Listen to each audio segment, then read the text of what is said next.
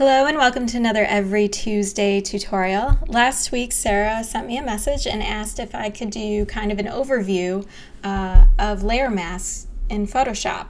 So masking can be a pretty confusing thing and I totally get why because I was personally scared of it all through college and it wasn't until after I graduated that I fully embraced masking and I've never looked back. It's a great way to easily edit and adjust your photographs um, and it's very non-destructive so it's the best form of editing in case your creative director ever needs any tweaks you can always go back and do it very quickly and impress them with how fast you are. So I've got three examples of how to use layer masks here and I just want to show you them really quick and then we'll go through them one by one. Um, I've got kind of three different types to show you that'll give you a general sense of how to use layer masks the best. So this is the first example.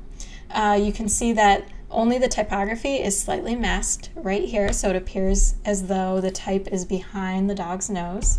The second example, let me show you what it looked like. This is the original photograph and then I added a hue saturation adjustment layer and you'll notice that the entire background kind of got punched up a little bit, but the gentleman's face did not. His skin color remained natural, um, and that's because I masked it out of that hue adjustment layer. And if I disable this, you'll see this is what it looked like before the mask, which we cannot use this ever. So with the mask, you can see now it's normal again. And then the final example, you'll notice that this pelican uh, is very vibrant and it seems as though he's coming forward towards you, and that's because of a levels adjustment layer. If I turn it off, this was the original photograph, and you can see with the levels adjustment, this did not get applied to the entire photograph, but it did get applied just to the pelican. So it's kind of a reverse of the previous example, and I'll explain how to do each one pretty quickly. Okay, so we'll start with this Dog Days of Summer photo. And I just typed out Dog Days of Summer, so I don't need to do that again, but I'm gonna remove this mask so we're kind of all on the same page. All the photographs that I'm using for these are totally free, and I'll leave links to all of them in the video description. And this font that I'm using right here is called Eveleth uh, Clean Regular, and I'll leave a link for this as well. Okay, so we know that we want the mask only on days because it's just this one portion of the D that we want to mask so it appears behind the dog's nose. So I'm over here on the text layer and I'm on days. And all we want to do is click this little icon down here for mask. And the most important thing to remember whenever you're masking is black conceals and white reveals. Okay, black conceals means black hides and white reveals. So when you're using masks, you're always going to paint in white or black. And what's being concealed and what's being revealed is determined by the layer that you're on. So since I'm on the type layer, if I paint in black, the type will be concealed. If I paint in white, the type will be revealed. Got it? All right. So I'll show you and it'll make more sense when you see it visually if you're a visual person like me. So I just switched this to black. Um, I hit B on my keyboard to activate my brush. And if you want to change the hardness of your brush, you can do it right here. I want a semi-hard brush, but I still want a slightly soft edge to it. So that's why I'm kind of in the 65 range. And then you can adjust the size here or you can uh, adjust the size with your keyboard hitting either the open bracket um, to make it smaller or the close bracket to make it larger. You can see smaller, larger. Okay, so I'm using the black right now, which means if I paint, it's concealing, it's removing the type because I'm on the type layer. If I paint in white, it's revealing the type layer. I'm going to zoom in here and I'm going to reduce I'm to reduce the opacity on this so I can kind of see the dog's nose as I'm drawing over here. So with this layer selected, I'm just going to come over here and change the opacity to 50%. Now I can see where the dog's nose is and I'm going to reduce the size of my brush slightly. All right, so if I hit X on my keyboard, I can switch back and forth between black and white right here, you can see. So I'm going to paint with black because I want to conceal the D. So I'm just going to paint along the dog's nose. And I'm just using my mouse super quickly. Okay, now I'm gonna up this to 100. And you can see I got a little bit of white right here from the background, so I actually need to I need to reveal more of the type. Um, so I'm just gonna hit X on my keyboard to get the white, and now I'm gonna reveal more of the type right here. All right. So that's mask number one, probably the easiest form of a mask. And you can see the little black dots here. That It's kind of dictating to you that there is a mask right there, and that's kind of where it's located on the entirety of the artboard. Okay, next example. Let me remove this completely so we can start together. So this is kind of a, a dark, kind of flat, a uh, little bit unsaturated image, and we want to punch it up a little bit. So I'm going to come over here to my adjustments palette, and if you don't see this, you can get to it by going Window, Adjustments, and it's extremely important. I can't stress this enough. Do not if you do this right now, don't ever do it again. Uh, a lot of people, and it's a terrible like college habit, I think, um, add adjustments by going window adjustments. But the bad thing is, is whenever you do any of this, if you make these adjustments over here, it's permanent. Once you do it, there's no going back.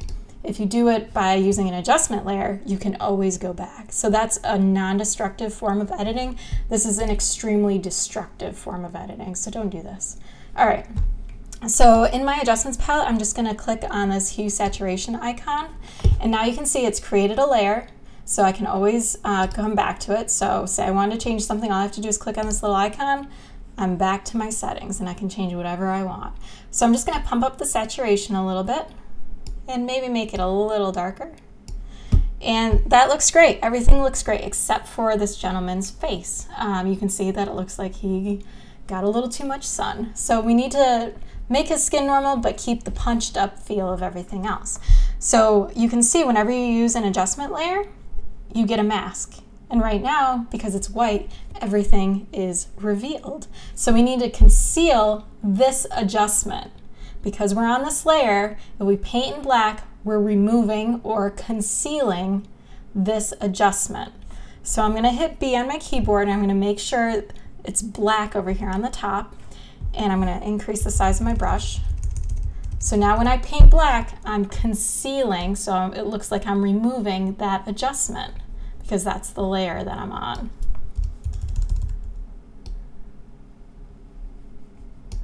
I'm just gonna do this really quickly with the mouse.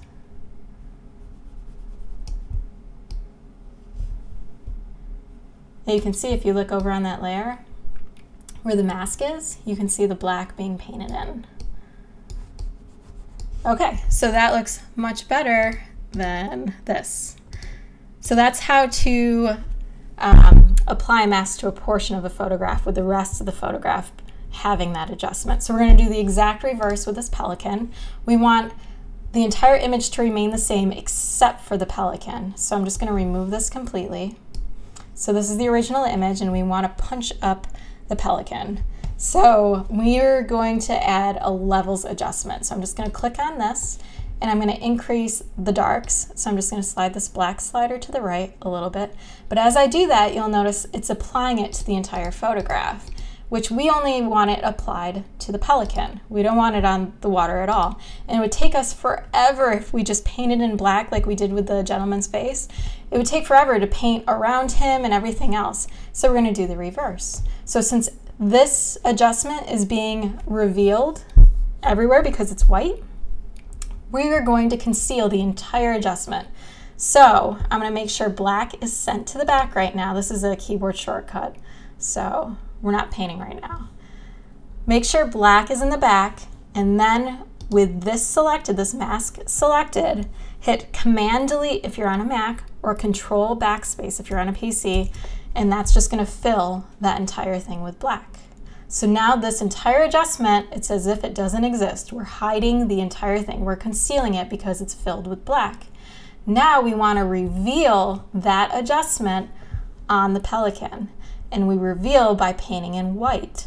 So I'm going to hit B on my keyboard. I'm going to make sure white is on the front right here. I'm going to zoom in really close. And once I start painting with the white, you can see he's getting darker because I'm on this layer and I'm revealing that adjustment on this layer. And I'm not going to take forever to do this. I'm just going to make him look kind of good.